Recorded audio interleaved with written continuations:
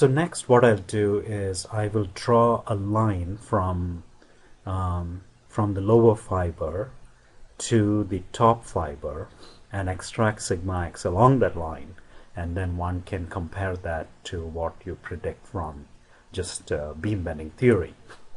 So unclick section plane, um, unclick the max and min labels and manipulate the view using the middle mouse button and the middle mouse wheel until you see something like that um, and go to geometry.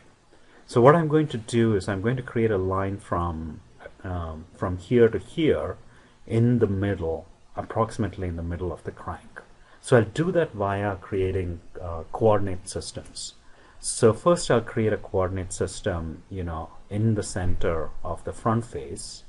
So I will click. So I will go here and select the edge selection filter. I'll select this lower edge and hold down the control button select that upper edge then go to highlight coordinate systems. And now if I click on new coordinate system what it'll do is it'll put it at the center of a weighted average of these two selections. So I'll click new coordinate system and you can see that it, it created the, um, the coordinate system at the center of those two entities. And I can rename that coordinate system. Let me use unscientific notation and call it my coordinate system. Okay, now if I zoom in to the um, here, basically I'm going to create a line passing, you know, from here uh, from the top fiber, uh, from the bottom fiber to the top fiber passing through the origin.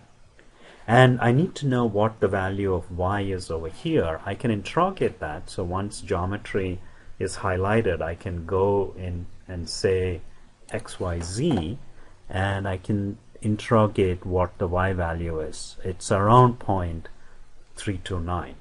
Now another way to do this is to create a, another coordinate system that's centered over there and that'll give me the y value exactly. So let me do that.